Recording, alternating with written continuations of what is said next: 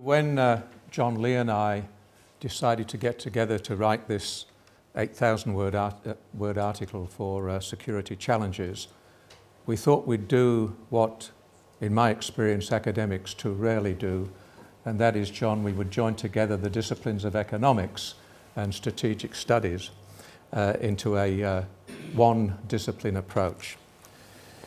We were, when I asked John to join me in this, and I don't often do joint um, uh, uh, authored articles, it's generally a difficult process, but with John's case, it was seamless and painless as far as I'm concerned. We talked about Paul Kennedy's seminal book, The Rise and Fall of the Great Powers, and Kennedy's clear conclusion that there is a very strong connection in the long run between an individual great power's economic rise and fall and its growth and decline as an important military power. But where we paused was that applying this important judgment to Australia's foreign and defence policies regarding the rise of China has led to strongly opposing views. There are those, as you know, including in this university, including some of our colleagues, who consider that the inevitable rise of China must result in that country becoming the naturally dominant power to which the United States must concede strategic space and acknowledge China's so-called legitimate strategic interests. There are others, including us too, as authors, who believe that China's endless uh, and rapid rise economically is far from inevitable and perhaps even unlikely, and that its military power will continue to lag seriously behind that of America. The argument that China will emerge as Asia's preeminent power is based on assumptions that its economic and military capacities are expanding and improving at such a rate that regional dominance is all but assured. Yet the sustainability of China's rapid economic rise and capacity to embark on the path towards becoming an advanced and resilient political economy, in addition to its ability to become a genuine military superpower wielding proportionate regional influence, is widely assumed but in our experience, rarely analysed in any depth, at least in Australian literature. In examining the factors that go towards the development of Chinese national power and its ability to use it to achieve national objectives, predictions about a Chinese superpower with the ability to dominate Asia would be premature, if not improbable, in our view. John, over to you.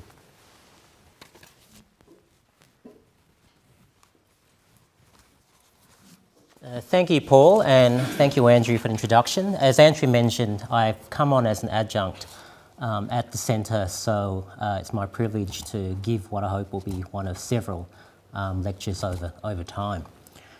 Uh, thank you all as well for uh, taking, taking the time to be here. Um, I'll speak for about 20 minutes and then I'll hand over to Paul to speak uh, about some of the military and strategic aspects uh, of this issue. Now, we obviously don't know the future, and because we can't accurately forecast the future, uh, we tend to rely on extrapolations of trends or trend lines, uh, especially when it comes to predictions uh, about material power, that is, economic power and military power uh, in the main. Now, extrapolations of trend lines are not completely useless, they can be useful. Uh, but they're essentially a window into the past. They do not tell you uh, what will be, they tell you what has been. Uh, trend lines also do not tell you much about causation. In fact, they don't even really talk about causation. They don't talk about or imply, you cannot infer from them why something occurred uh, and whether something is likely to continue into the future or why something may change or why it may not. Now, like all of you, I don't have a crystal ball uh, in my lounge room. Uh, so the approach I'm taking, and I think the approach we took in this article, was to basically analyse China in unexceptional terms, and that is you analyse China in the way that you analyse the material power and prospects of any other country.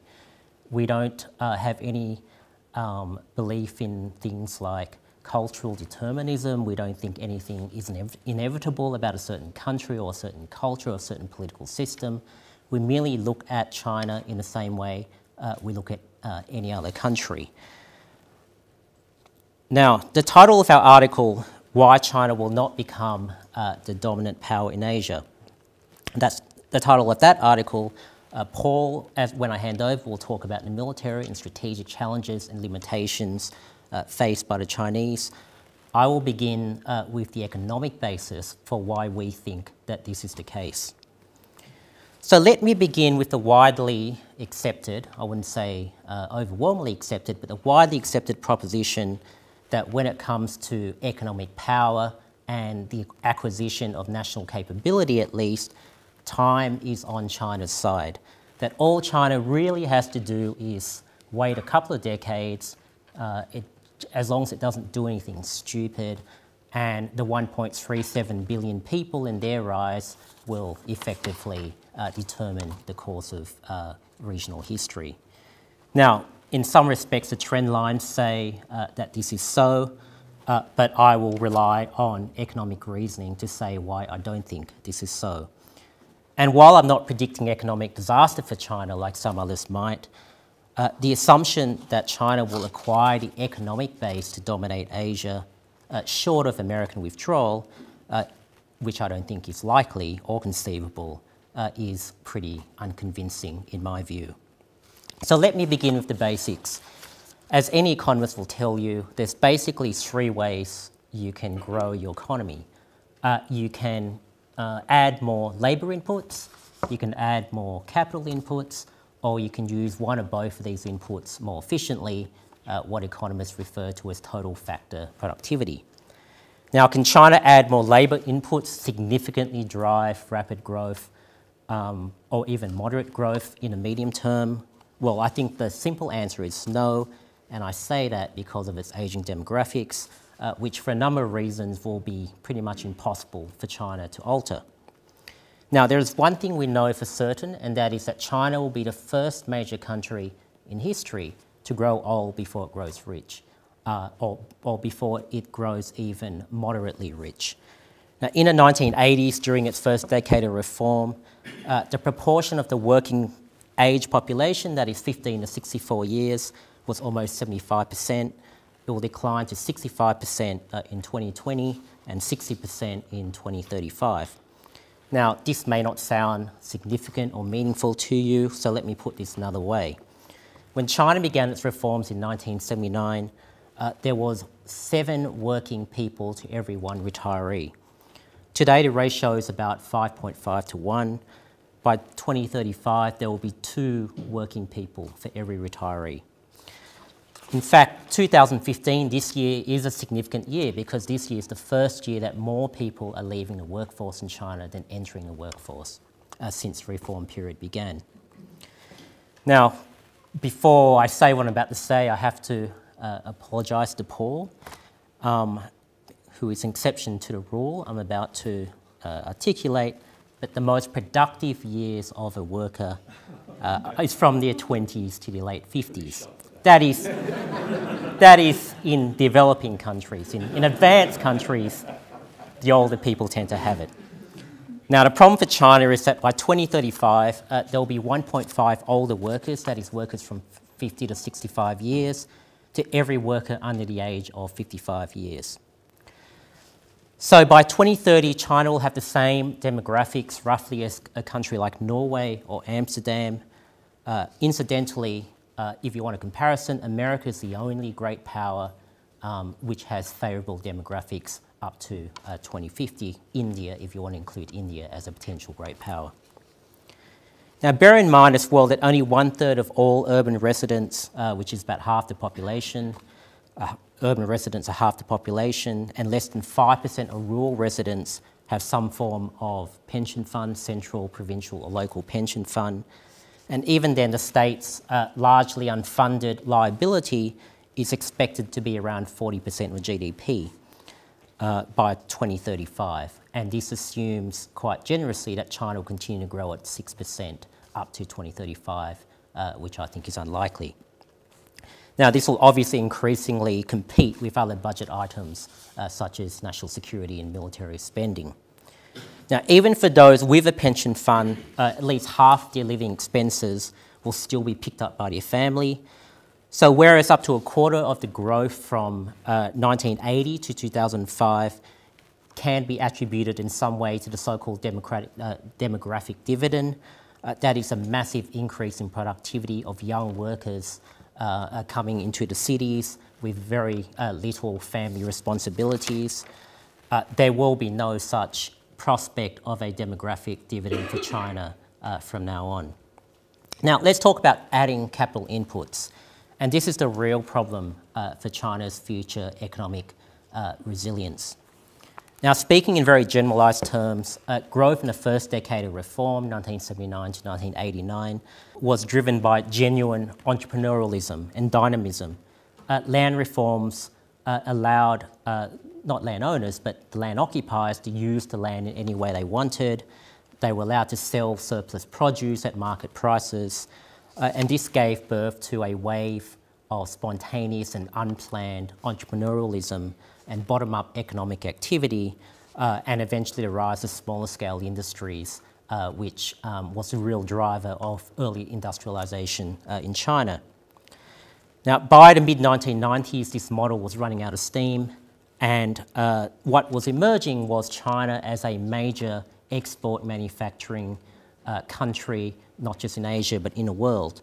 So it was from the mid 1990s onwards that made in Korea or made in Japan or made in America or made in Malaysia was replaced by made in China. So prior to uh, the global financial crisis, or just a, a, couple of years before that, the major driver of Chinese growth uh, was net exports. Now, there was nothing remarkable about this. This was really just the model that Japan, South Korea, Taiwan, Singapore, amongst others, pursued. But China took it to a much larger scale uh, because of the surplus pool of uh, labour that they had. Now, export dependent models obviously need growing uh, end consumer markets, and this became a, prob- became a problem for China when the global financial crisis hit the advanced economies uh, and consumption markets uh, ground to a halt. So China had to find a different way of generating growth, uh, and this is what they did. Now, if you take the period from 2004 to 2014, uh, the Chinese economy expanded uh, a, a, pretty impressive 162%. About labour inputs, or additional labour inputs, uh, contributed around 6% of that, but enormous 136% can be attributed to capital inputs, uh, mainly in the form of fixed investment, which is basically building, constructing things. This means that only 20% of growth out of 162% uh, over the last decade was due to using inputs more productively. Now, these are all economic numbers, okay? Why do they matter?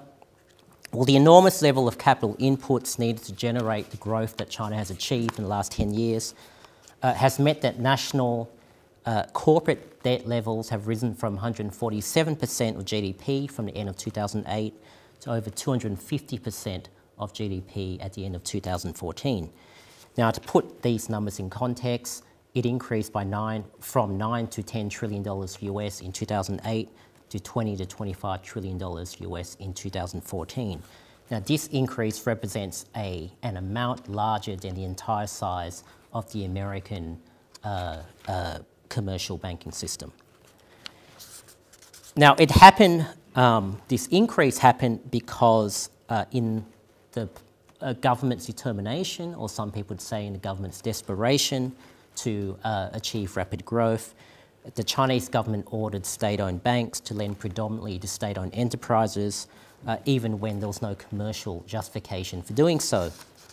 So from 2008 to 2009, for example, bank loans almost doubled from $750 billion US to $1.4 trillion uh, US. The outs outstanding bank loan books of China's banks expanded almost 60% in two years. So that this clearly is not uh, due to um, natural economic demand. It's a result of government-driven uh, policy uh, despite what Australian miners and the Treasury at the time were actually telling us. So the result is what China's own state-backed economists uh, refer to as not just, just the largest building uh, program or largest national building program in world history, but also the most wasteful in economic history.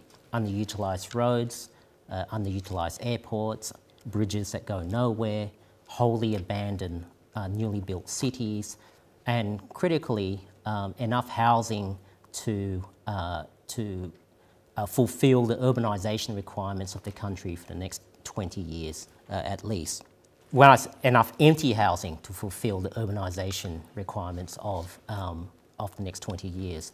So if you look at just the biggest four provinces in China, um, there are wholly unoccupied dwellings that could house 200 million people.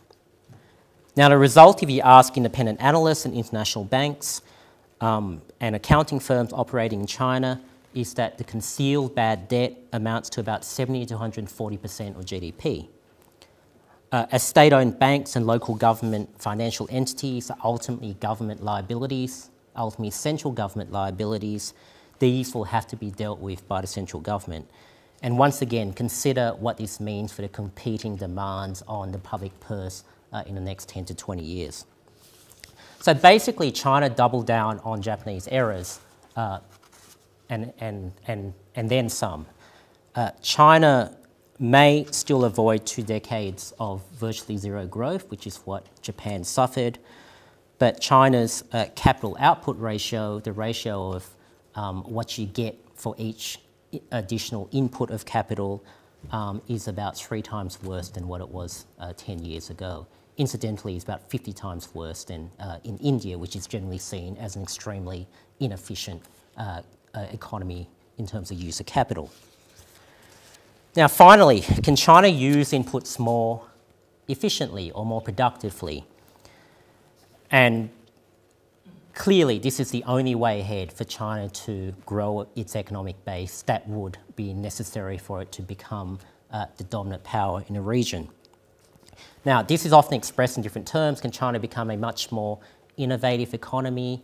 Uh, can it move to a market responsive economy rather than, than a hybrid planned economy? Can it increase consumption, which would drive services and increase productivity? Essentially, all of, all of these characterizations of what China needs to do um, is to say, can China escape the so-called middle income trap, uh, which if you look around, only around 30 uh, economies in the world uh, have done that. Now, basically, uh, the future of China being the dominant power in Asia depends on it escaping the middle income trap. It can't do so.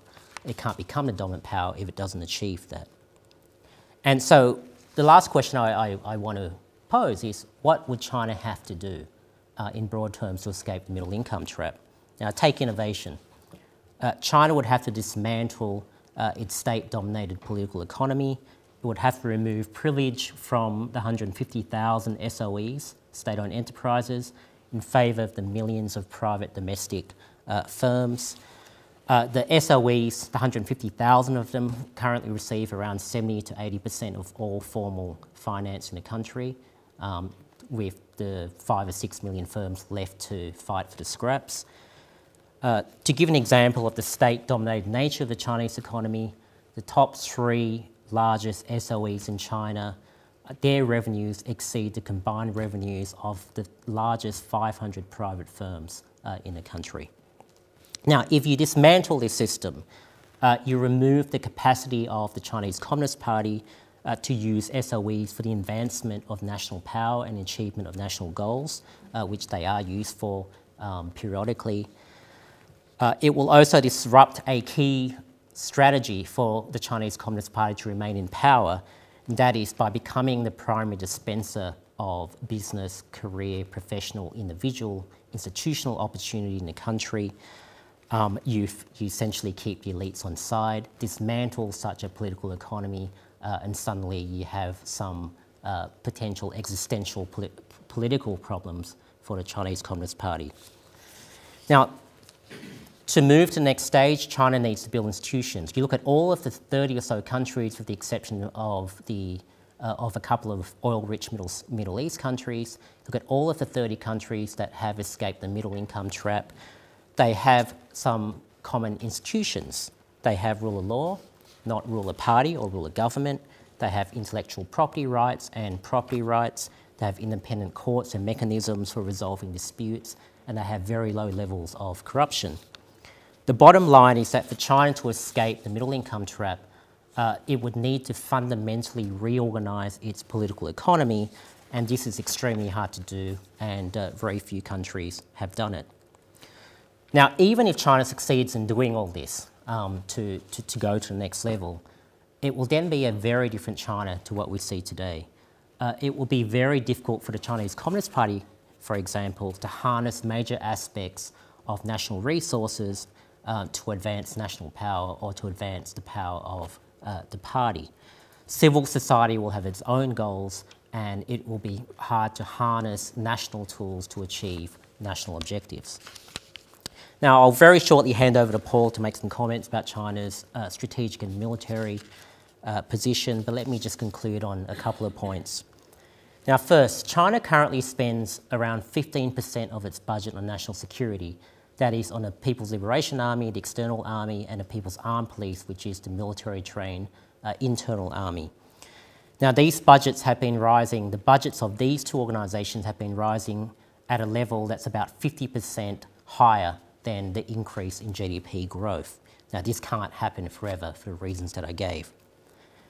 Now, second, on all key indices of non military power, uh, Ch America, China's primary competitor, is well ahead and will remain so. So, think about innovation, age demographics, education science, industrial capability, emerging technologies, social stability, resource security, food security, territorial security, regime or government security, and so on, America's ahead on all of these indices and will remain so uh, for the foreseeable future. And third, uh, China might, in many respects, be a strong state, but it is a strong state overseeing a weak uh, and fragile country. The legitimacy of the Chinese Communist Party uh, and its capacity to remain in power ultimately depends on improving the lives of its citizens. It can't just uh, use uh, more and more of national resources for national power without political domestic consequences. Now, already the CCP is managing a country uh, with, by its own official numbers, 180,000 instances of mass unrest. Mass unrest being defined as 50 or more people protesting against government entities or government officials. It simply cannot pour more and more national resources into the advancement of national goals without uh, focusing somewhat uh, internally. Now, finally, uh, China's internal fragility means that it cannot afford a major foreign policy disaster or economic disaster uh, for the CCP to remain in power. The CCP has 1 million uh, military trained People's Armed Police units solely devoted to controlling domestic unrest. Now, this is a sign of a country that may appear strong from the outside, uh, but is significantly vulnerable uh, from the inside. Now, a foreign policy or economic disaster may bring down an American government, that's, that's true. It may bring down an administration, but it, but it won't bring down a whole political economy. Such a disaster will bring down the whole Chinese political economy if the CCP fails. Now, if you look at all of these factors, all things considered, um, this to me does not seem uh, like a power with the economic base, with the domestic base, uh, to become uh, the dominant power uh, in a region. Now, I'm now going to hand over to Paul to talk about some of the military uh, and strategic aspects, and, and then I think we'll make some concluding remarks. Thank you.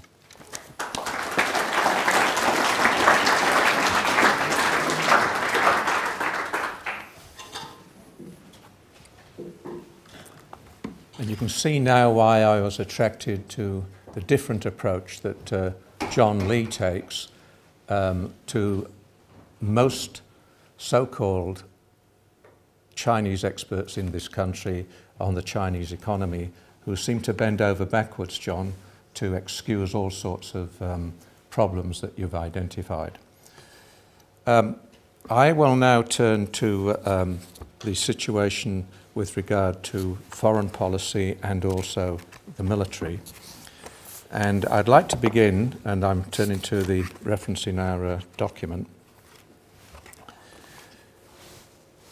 In my view, China has very few powerful or influential friends in Asia. For a country with such a large population and the world's second largest economy, it does not have many close bilateral relationships. In her book, China, Fragile Superpower, Susan Shirk, a former senior um, Department of State official, describes China as strong abroad but fragile at home. This strikes both John and I as being incorrect. In our view, China is certainly fragile domestically, but it is also a lonely power when it comes to acquiring real influence in Asia. A listing of China's friendships in the region reveals that only North Korea and Pakistan can be counted as countries with which it has a strong relationship. But what sort of trust can Beijing have in a Pyongyang not dragging it into an unwanted war with South Korea? And in any case, we've witnessed of late Beijing cozying up more to South Korea than its traditional ally, uh, North Korea. As for Pakistan, it is constantly teetering on the edge of becoming a failed state, nuclear armed, and risks a conflict with India that certainly would not be in China's interests. For centuries in the past, Imperial China was feared and respected as the dominant power in Asia, as Susan Shirk has correctly observed. But that was all a very long time ago, when China faced no real competition until the arrival of European colonial powers in the 19th century. China now operates in a highly competitive regional environment against such major powers as the United States, Japan and India. And of late, many Southeast Asian countries have become increasingly concerned about China's assertiveness, and several of them, including Vietnam and the Philippines, and indeed Singapore, have taken steps to align themselves much closer to the United States. In my view, not even Russia can be counted by Beijing as a long-term friend, let alone an enduring ally, and I say that for all sorts of geopolitical and cultural reasons. When we look at the overall state of the relationships, China's poor relationships with the United States, Japan and India do not, in our view, augur well for its ability to shape the future regional order. Moreover, Beijing's increasing aggressiveness and harsh attitudes towards its preemptive territorial claims in the region run the risk of miscalculation and conflict. This risk, coupled with Beijing's inclination to challenge established international norms of behaviour, is a suitable point to turn in a moment to China's military build-up and an examination of its strengths and weaknesses. But before I do that, let me just uh, refer back to the relationships that um, China has with Japan. They're clearly at a level of high tension, if not poisonous. There are all sorts of historical faults on both sides, but the way in which China is now leading on, leaning on a newly reassertive Japan is pushing, as I've said, Japan closer to the United States. And does China really stop and reflect that if it pushes too hard, including the use of military power in places such as the Senkaku Diaoyutai Islands, might not that force, might not that force Japan along a path that's clearly within Japan's very um, speedy capability towards an independent nuclear weapon? You wouldn't have thought so. With regard to India, it is different, and I'm not arguing that India is about to become an ally of the United States. But of late again, we've seen an India, by the way, unlike China, a democratic country with rule of the law, with freedom of press, an India that is increasingly uh, having a relationship with uh, Japan, as indeed Australia is, and an India that, as I said, will not become an ally of the United States, but is historically aligning itself, including with military weapons um, sources, away from its traditional supplier of military weapons, Russia, uh, towards um, uh, India. And how is it that a China, a Beijing, in which the most powerful position in the land is not President of the People's Republic, in my view, or General Secretary of the party, it's Chairman of the Central Military Commission, which is the most powerful position. And when Xi Jinping holds that position, how come when he's in India, the Chinese, allegedly according to some academic commentators in the West, unknown to the central leadership, if you can imagine that, commits military aggression on the disputed border in the Himalayas. I, for one, do not accept that any military action in China is not under the direction of the Central Military Commission.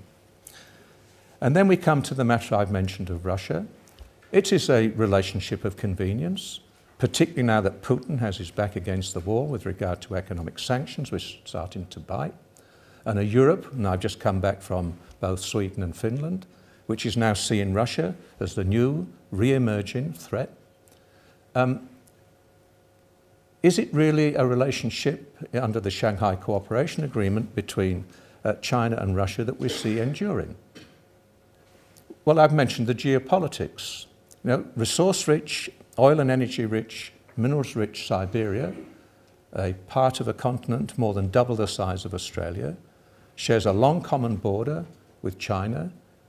It is an increasingly sparsely populated Russian Far East with bad demographics. And how would Australia react as a large, sparsely populated, resource-rich country to that sort of geopolitical challenge? As a former defence planner, I can tell you. And then we have the relationship with the United States, which we all want to see um, uh, uh, improve and be a good relationship. But it's not looking brilliant. And the way in which China increasingly using military power indirectly, unlike directly Russia at the moment, but indirectly as a force of coercion to threaten Japan, to threaten countries in Southeast Asia, and to threaten India, uh, does not augur well for the norms of international behaviour and a stable and peaceful region. With regard to China's military capabilities, again, I think, you know, we've had too much straight line extrapolation in this country with regard to China. It reminds me when I was in the intelligence game in the 1970s of the straight line extrapolations that were made both in the intelligence communities and in many of our academic so-called experts on the Soviet Union, that the Soviet Union was going to grow and grow, that in the period of Western stag stagflation, the Russian model of central planning, quote, was more successful, that the Soviet Union was on a winning streak with regard to uh, its intervention without any response worth talking about from the West in Afghanistan in 1979, and the proclamation by our experts on the Soviet Union, most of them, that the Soviet Union was about to outstrip the United States in military power. That was the view of Robert Gates, the Deputy Director of CIA, when I saw him in 1986. In 1986. In 1989, down went the Berlin Wall. In 1991, I can't sing my favourite Beatles song back in the USSR anymore. So, you know, as John has said, whether it's, you know, Japan in 1980 or the Soviet Union in the late 70s, 90, early 1980s, beware those so-called experts who tell you with great authority that it is inevitable that China will be the dominant military power in the region, if not globally. The fact is that China, not now and foreseeably, is not a superpower. There's too much casual use of that word. Let me tell you what a superpower is. A superpower has two attributes. Number one, it has the capacity to wreak vast nuclear destruction anywhere on the globe, anytime. There's only two countries now capable of doing that America, and guess what? Russia. China does not have that capability. The second attribute of a superpower is the capacity to decisively project conventional military power anywhere in the world and intervene, just like our American friends are doing time after time after time, whether we agree with that or not. China does not have that capability. Now, China undoubtedly has developed substantial military capabilities in the last 20 years or so. I'm not arguing against that. And China has taken notice of the overwhelming use of American conventional military power in the first Gulf War in 1991. And it's moving to a more sophisticated, uh, what it calls informationized um, uh, military for fighting short notice, high intensity regional wars, and it's moved away from People's Army. But the fact remains that as far as China is concerned, even with its main military priority, that is to retake Taiwan at a time of its choosing, according to the Pentagon, China still has substantial deficiencies in amphibious assault in order to do that. And in addition, the latest Pentagon report on China says that the limited logistical support remains a key obstacle for China in preventing China's navy from operating more extensively than beyond the immediate East Asian surrounds, and particularly in the Indian Ocean. In addition, and I quote from the Pentagon report, it is not clear whether China has the capability to collect accurate targeting information and pass it to launch platforms in time for successful strikes against targets at sea beyond the first island chain. That's the island chain Japan, um, Taiwan, uh, the Philippines. I would argue that even within that first island chain, even within there, China has substantial deficiencies with regard to anti-submarine warfare, air defence, and the so-called capacity to take out American aircraft carriers, and I'll come back to that. For those of you who are interested, um, this month the RAND Corporation, a quite conservative American corporation, John, has come out with a report, which I commend to you, called China's Incomplete Military Transformation. And it quotes extensively from Chinese sources, and it gives other information about issues such as anti-submarine warfare and so on.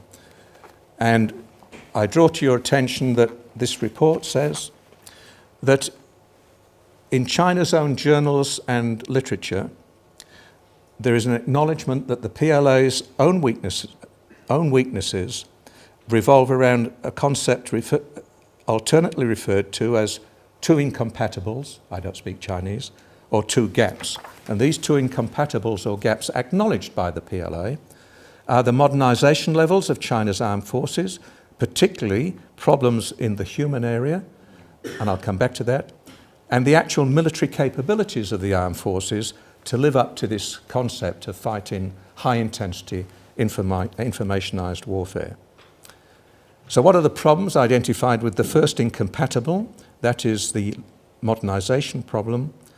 The available literature, according to RAND, denotes in China denotes several areas that are broad and endemic to the People's Liberation, Liberation Army in the realms of training, organization, human capital, force development, and logistics. It is well known that a lot of the training is unrealistic and artificial.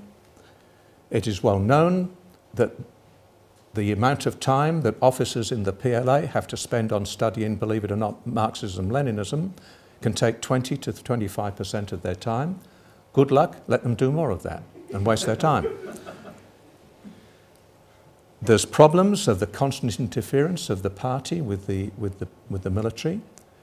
And with the military, unlike our militaries, the role of the People's Liberation Army in the oath of allegiance they take is not to the People's Republic of China, it is to the Communist Party of China.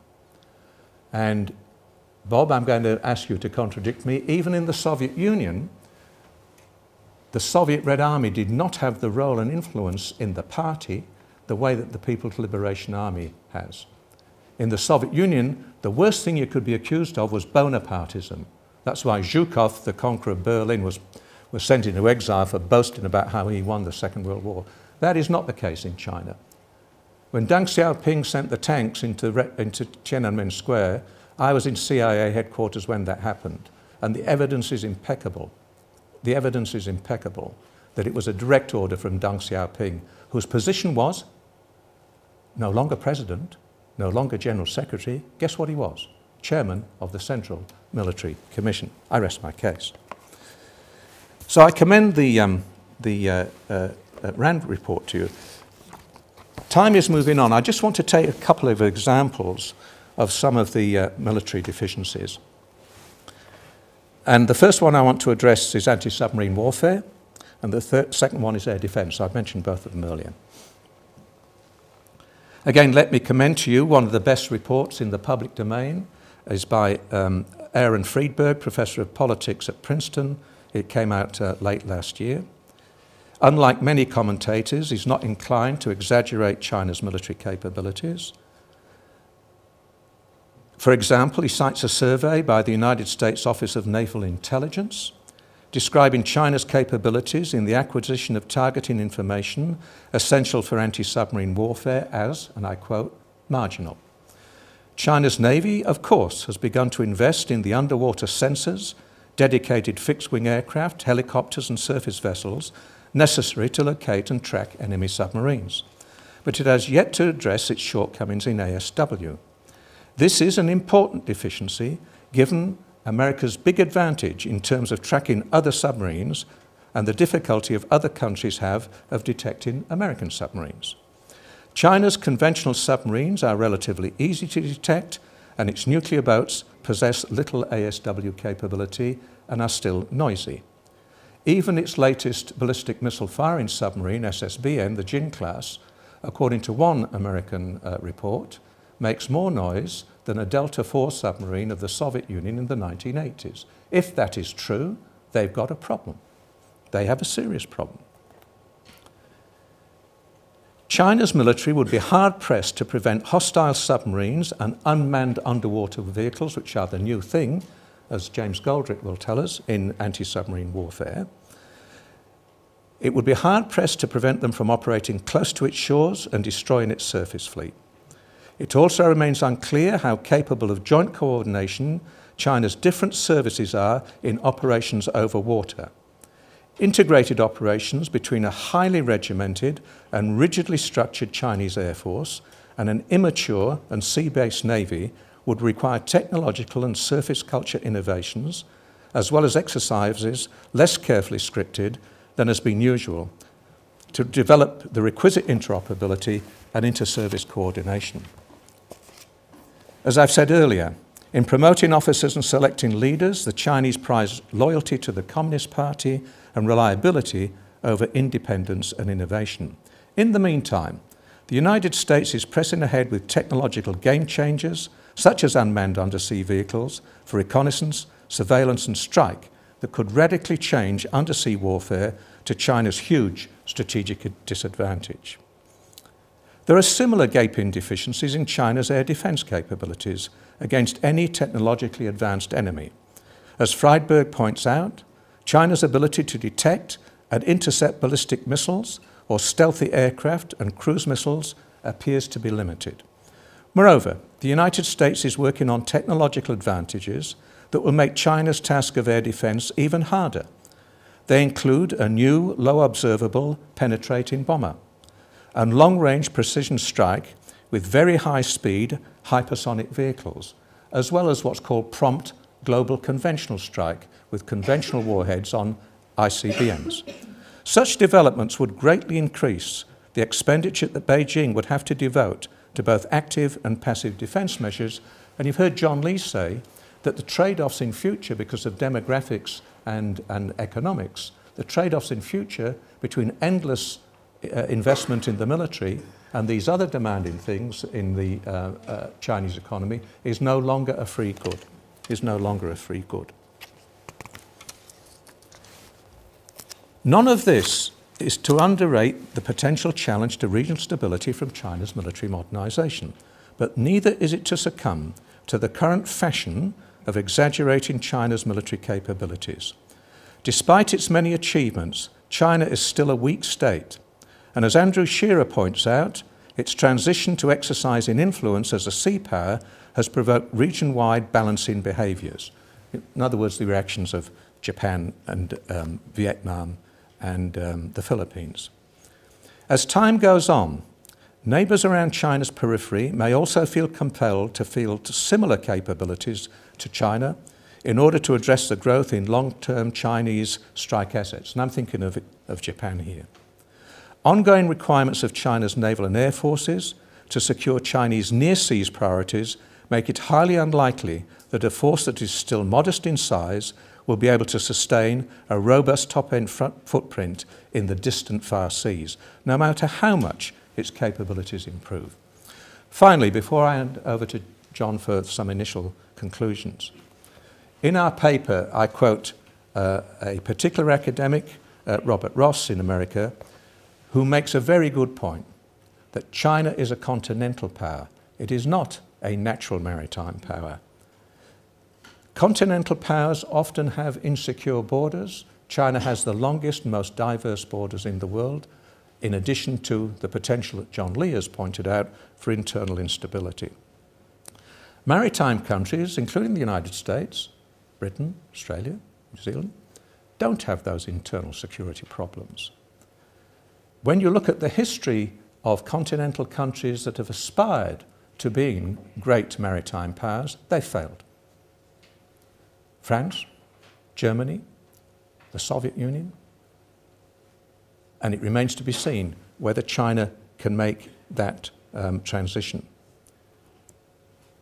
I'm of the view that China is not capable of challenging US dominance of regional sea lanes or the security of America's strategic partners in maritime Southeast Asia. And further, we point out in, uh, in our um, uh, article that in our view, China is 20 years behind the United States in high technology weapons and sensor development. It is not a military superpower, and it will not become one until it develops the capability to project decisive military power anywhere in the globe. Presently, China is only a regional military power entirely without any modern combat experience whatsoever and with major deficiencies in doctrine, human capital, and training, particularly the complexity and realism of joint operations. China's ability to develop a powerful military is also seriously constrained by the fact that its own technological defence industry levels remain relatively low and its only source of foreign arms is Russia.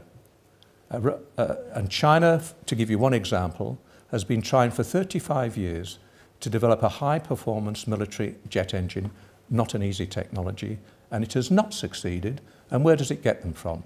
Russia. And are they highly reliable jet engines? No. I leave you with that example. Now, it may seem uh, unoriginal, but I'm just going to read a couple of paragraphs from an article because I think it, it, it, provides a very good summary, uh, particularly of, of my uh, contribution to the article and the talk itself. Now, in our view, China may be approaching the zenith of its power as its economy encounters serious structural impediments and demographic barriers to growth. This will also have important implications for the opportunity costs forgone of ever increasing defence expenditure in a technological arms race with the United States, which Beijing cannot hope to win. Our analysis portrays a China in which worsening domestic problems will remain the leadership's highest priority, and addressing such concerns will take up an increasing share of economic resources and national wealth. Just by the way, as China has got richer as a country, domestic problems have got worse, not better. So uh, economic growth uh, per se is not solving China's domestic problems, but actually worsening them. The Communist Party leadership will struggle to keep a lid on growing popular discontent, which may have implications uh, for its very survival under certain circumstances. We have also described a lonely power that has very few friends in Asia, although China's worldview of itself is shaped by strong historical impulses of a hierarchic order with itself uh, at the apex. Uh, very few countries in the region appear willing to concede to China the status of the dominant power. Indeed, it is much more likely that countries such as the United States, Japan, and India uh, will concert together, either directly or indirectly, against an increasingly uh, assertive China. In military terms, Chinese Achilles' heel is that it lags at least 20 years behind the United States in key technology areas. The fact that China has no experience whatsoever of modern warfare and its military hierarchy depends crucially on loyalty to the party uh, means that China's actual warfighting capability uh, must be in serious doubt. Moreover, China's military build-up is causing a classical uh, response in kind as countries such as Japan, India, uh, and many Southeast Asian countries acquire advanced maritime military forces in order to check China. They may not be able to balance against China, the Southeast Asian countries, but they can complicate matters significantly uh, for the Chinese military. In summary, as The Economist observes, China needs Western markets, its neighbours are unwilling to accept its regional writ, and for many more years, the United States will be strong enough militarily and diplomatically uh, to block it. Now, I'm now going to hand over uh, to Paul uh, to make some final comments. Thanks, John. What does all this mean for Australia's national security planning and the forthcoming Defence White Paper? First, the most important point to make is that any suggestion the United States should move to one side in Asia to make strategic space for China should be rejected. China is not now or foreseeably a strategic peer of America's, and any move by Washington to concede China's so called legitimate strategic interests would smack of appeasement and offered unnecessarily and for little conceivable gain.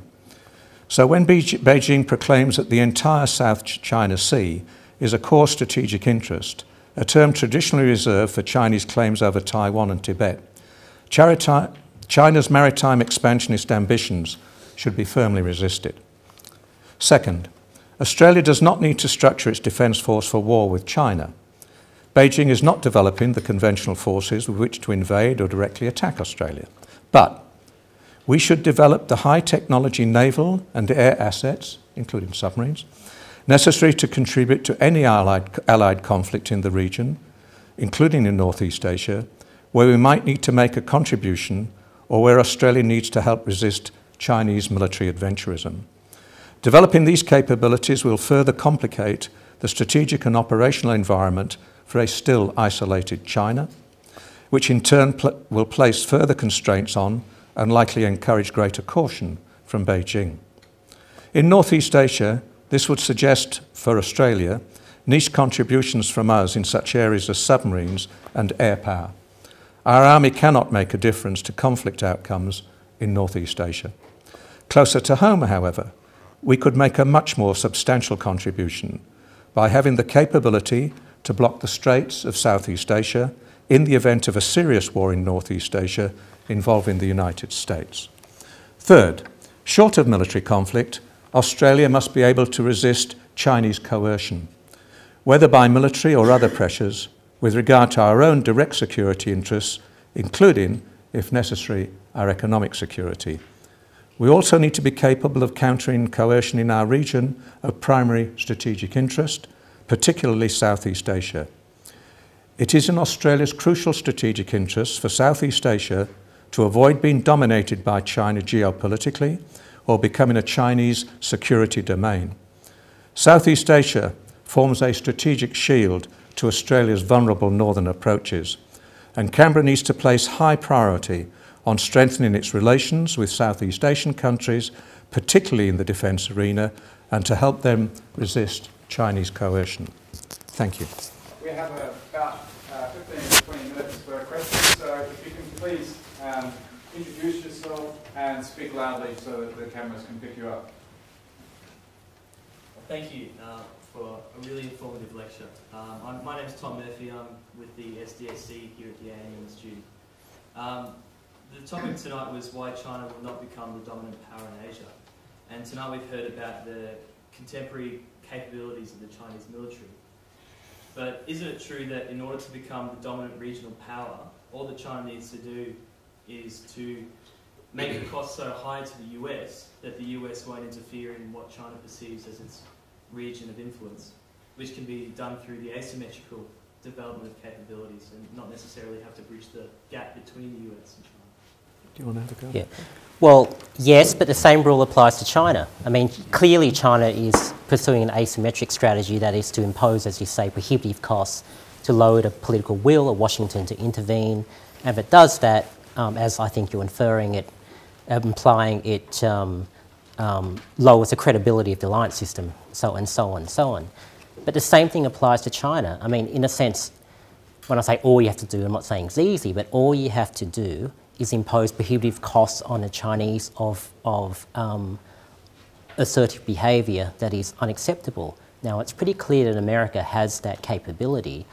Um, in a sense, the political uh, tolerance or threshold of what the Chinese Communist Party can accept is much lower than, than I think for Washington. I mean, we have to look at history. When Washington enters wars, they enter wars to win. You know, I, I do fear the Chinese are making a huge political and strategic miscalculation here. I agree with you that that is the prime strategy to inflict prohibitive costs, but think about what is prohibitive for the Chinese Communist Party if you consider both their military vulnerabilities and their domestic weaknesses, uh, they have less room to move, uh, I think, than uh, most people realise. Taiwan has come up several times, and of course you have a situation where Taiwan and China's economies have become integrated in many ways. And you have the one China policy, which the Communist Party adheres to in the Kuomintang favor because they want to be the one ruling China. But in Taiwan, I understand that there's growing uh, sentiment for independence from China. Now, if you get in a situation where there's an independence movement and say a referendum is one to say, uh, to renounce the one China policy and Taiwan's an independent country, this leaves quite a quandary, I would think, for the Chinese because they do have the economic integrations, which they would lose in a conflict. Um, a conflict would be very costly in terms of um, getting masses of troops across the uh, across the straits. What what uh, uh, is likely to be the effect on China if Taiwan does move towards independence? Yeah. We've got um, Taiwanese representative actually uh, here. Um, I was in Taiwan for the first time uh, uh, with an ANU group in, um, in September. And I'd never been there before because when I was an official, I was not allowed to, to be there, although I was allowed to go to communist China.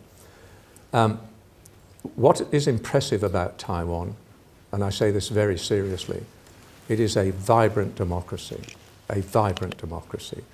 And I think it was last May when, the, under the Sunflower Movement, the students occupied the parliament over allegations that President Ma and that, and that government was moving economically too close to China. Isn't it interesting that students would do that over that issue? It is true, as you say, the, the economic uh, relationship and the tourism relationship is very profound. My memory is, um, William, you can correct me, there's 800 flights a week uh, between China uh, and, uh, and Taiwan. It is good for the mainlanders to go to Taiwan and switch on the TV in their hotels and watch Parliament, watch Talkback TV. Go to a bookshop where you can buy any book. Hmm? So, you know, th there is that creeping sort of um, uh, culturalization of, of the mainland. I think on the issue of the uh, uh, independence movement, uh, I'm not an expert on Taiwan, I doubt very much, and the Americans would not want a declaration of independence. And as long as China faces very substantial military costs, which it still does, I mean, amphibious assault, as some of the military here know, is amongst the most difficult and challenging of any capability to develop, particularly if you've got uh, a dug-in and capable uh, enemy. So, you know, the issue of Taiwan is one of those hypothetical contingencies that um, when uh, foreign ministers uh, of Australia are asked the question, they should, but don't always, say, it's a hypothetical, I won't answer it. You can have my answer. I, I'm Doug Keane from the Office of National Assessments.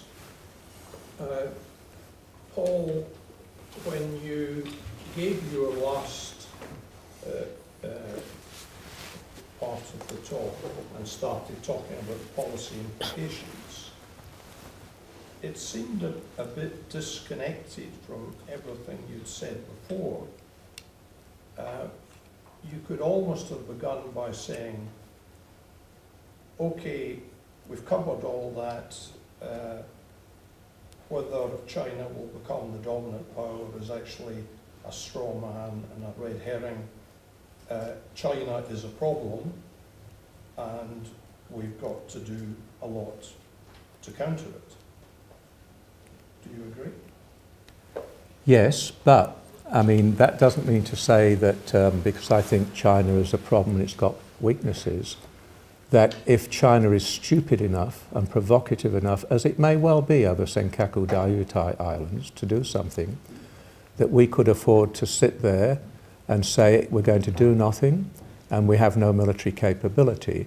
I'm under no illusions that projecting power up into Northeast Asia is extremely difficult and challenging, and we wouldn't be able to make a difference. It would be a niche contribution.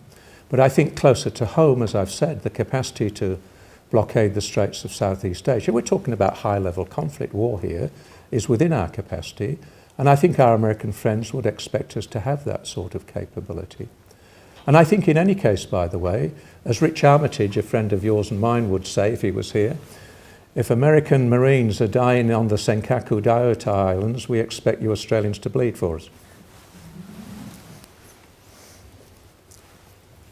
Uh, I'm Andrew Blunt. Um, I'm just wondering, you said China, one of China's issues is its diplomatic isolation, um, especially after a bellicose few years. Um, if you kind of start seeing China taking a different tack now, you probably kind of see it with the formation of the Shanghai Cooperation Organization, but now the formation of the um, Asian Infrastructure Investment Bank, do you kind of see China taking a different tact and kind of taking a more conciliatory role in Asia, and what difficulties do you think that they might have with that?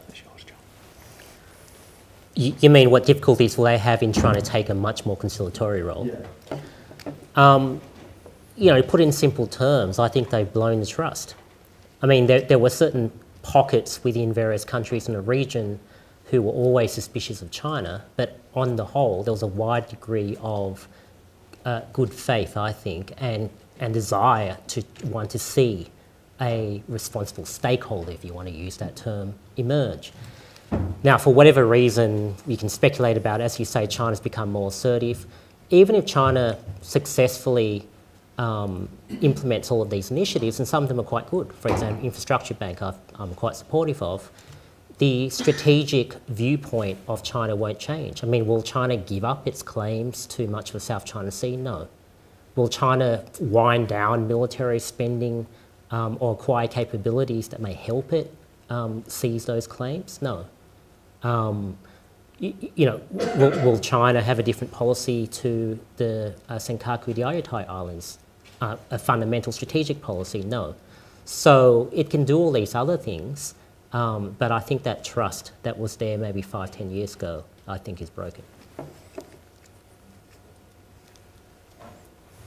Uh, Bob Lowry, uh, my interest is Indonesia, but my question is not related to that. Um, have you factored in at all the environmental costs of the massive degradation of the environment in China and what impact that might have on both uh, you know, their economic capability to develop the economy and to, and to fund the military? and, and the political factors involved.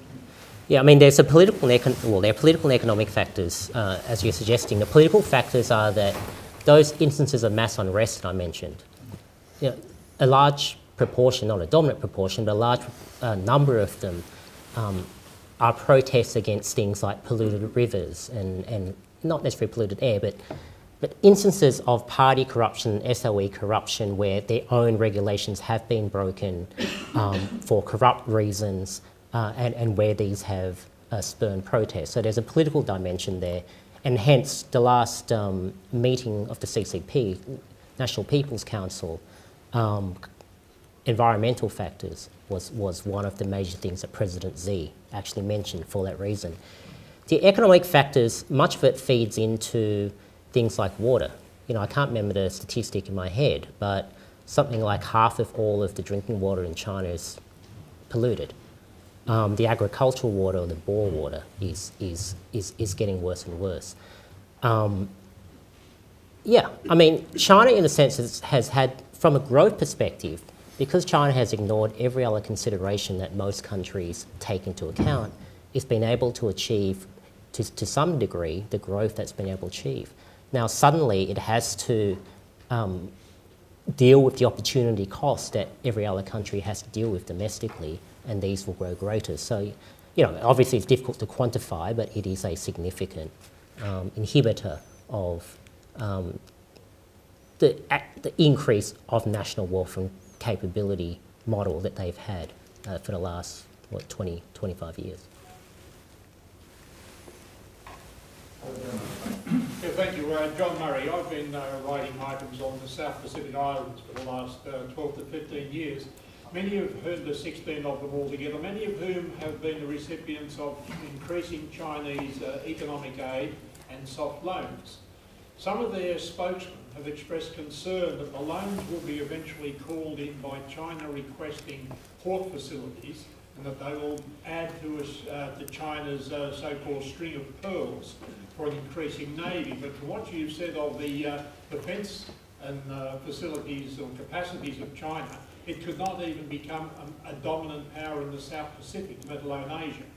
No, but it could, um, like the former Soviet Union when it was messing around in the South Pacific with its so-called hydrographic and fishing vessels as cover for intelligence and other operations, it can cause, you know, severe uh, concern and consternation about. These are very, as you know better than me, very vulnerable um, uh, uh, and potentially unstable small countries. We would be seriously concerned, any Australian government would be seriously concerned if China was looking to develop port facilities that were a cover for military facilities. There is no evidence of that so far, unless Doug Keane contradicts me. Um, uh, and China traditionally, at this stage, has not sought to develop significant military facilities overseas, although in places like Sri Lanka and so on, it is, uh, it is uh, sniffing around. Um, I was um, two years ago in uh, uh, Timor-Leste um, to observe the, uh, the democratic elections there, and I couldn't help but notice that the following buildings had been built, built by the Chinese the Foreign Ministry, the Defence Ministry, and the Presidential Palace. Now, look, every country has the right to do that sort of thing, but it's something we need to scrutinise extremely closely. Well, this might seem to be an unrealistic uh, scenario, but if push came to shove, and you know, rather than a military action, China were to contest America economically, um, and possibly in partnership with Russia, what do you think of the possibility that uh, they might consider conducting some sort of uh, bear raid type scenario on the US economy using their foreign reserves and what might such a possibility mean for US action within the region? Uh, let's quickly address that. The foreign reserves, yes, everyone talks about these treasure chests or these weapon that China has. What people don't realise is that most of the foreign reserves that uh, are, has really resulted from the surpluses that China has had with America or Europe and it has to keep the money outside China because of its currency policy. Why that's important is because there are actually liabilities against those foreign reserves. That is what is owed to the export manufacturers inside the country. I mean, in short, China can't just deploy those foreign reserves because there are actually liabilities against that and will completely ruin their financial system. Just, just on you know, other economic, potential economic weapons that China has, um, I think there's a misunderstanding that China is a driver of global growth. If you look at the interactions China has with advanced economies, um, most of the interaction is making things for, in, for the advanced economies to consume. Yeah. So ultimately, what, what that means is that the Western consumer or the advanced economy consumer is still much, much more important to not just China, but Asia um, than the Chinese domestic consumption market.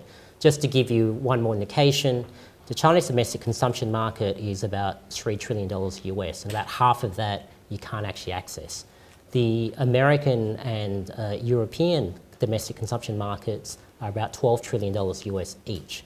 Um, and if you want evidence, during the global financial crisis, uh, trade between China and the rest of the region actually declined when the Western economies went into recession what that tells you is that the trade is being driven by the Western consumer. All that's happening in East Asia mainly is that it's a vast production chain to make products for American and European consumers. So I, I'm not saying China is completely impotent, but it doesn't have those economic weapons um, that people assume it has. Yeah, and I think, um, you know, John, the, uh, unlike the former Soviet Union, which was a, an autarkic, self-sufficient, non-trading, non-investing country, China is fundamentally involved in the Western world global trading system. And by the way, and that gives it certain vulnerabilities. It's not just the West sea lines of communication that are vulnerable. I mean, China currently imports 80% of its oil through the Straits of Malacca and Southeast Asia. And that means it too is vulnerable. And as John is saying, when it comes to global supply chains, China is intricately involved in that, isn't it? So if global supply chains get you know, cut off because of war, the impact of conflict, the impact on the Chinese economy is going to be very substantial. Yeah? There's, one, there's one thing that we haven't raised uh, uh, that I'll just mention, and I'll get John to talk about it a bit. There was quite recently, while I've been away in, uh, in Scandinavia, a, um, uh, an article, I understand, by David Shambaugh, who you know very well, a very prominent American expert on China, who, as I read it in the press overseas, is talking about the vulnerability and fragility of the Communist Party rule in China. Do you, do you have a view on that, John? Yeah, I mean, I, Sh David Shambaugh's article was essentially saying that um, the CCP is this the beginning of the end for the CCP because of various things like um, slowing economic growth, lack of morale, lack of ideological conviction, etc. I agree with David's um, um, analysis of the problems. I don't agree with his endpoint. The reason why I don't think that the Chinese Communist Party, under David's line of reasoning, is at its end is because if you look at modern industrializing societies, regimes fall because of revolutions in cities. They don't fall because of revolutions in the countryside. Now, the basic strategy of the Chinese Communist Party has been, for want of a better term, to try to co-opt urban elites. And it's done that by, as I mentioned, being the primary dispenser of career opportunity, wealth, etc. If you look at the middle classes in China and the upper classes in China, they're fairly closely tied to the Chinese Communist Party. So it's actually not in the interest of urban elites right now in China to, uh, to, to want a different political setup. Now, of course, if there's some economic disaster, then the rules change, but assuming no economic disaster, I think David's um, pointing out if the problems are correct, but I don't necessarily agree with uh, what he says about where it's heading to.